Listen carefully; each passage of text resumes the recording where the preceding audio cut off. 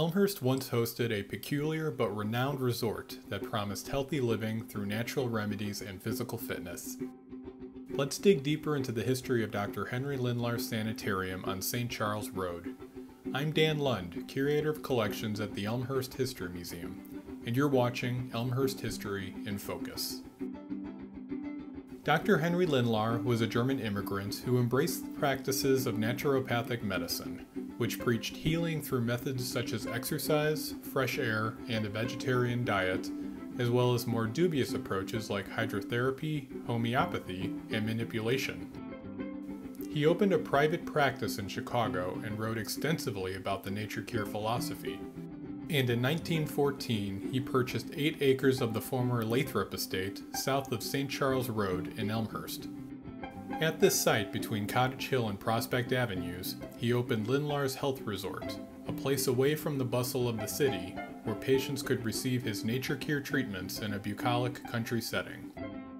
The property included a central administration building at the former estate house an annex with rooms for patients, and a small city of bungalows and tents for use in the summer months. The large wooded grounds of the site provided plenty of room for sports, exercise, and exposure to nature.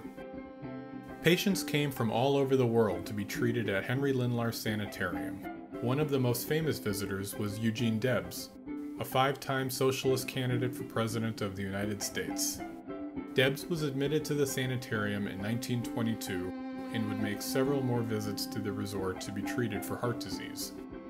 While in Elmhurst, he struck up a strong friendship with renowned poet Carl Sandburg, who lived just a few blocks away on South York Street. Debs would pass away at the sanitarium in October 1926. Dr. Lindlahr himself died in Chicago in 1924. His son Victor followed in his father's footsteps and managed the sanitarium in Elmhurst until 1928. At that time, he and most of the resort staff decamped for Florida and opened a new sanitarium in the warmer climate.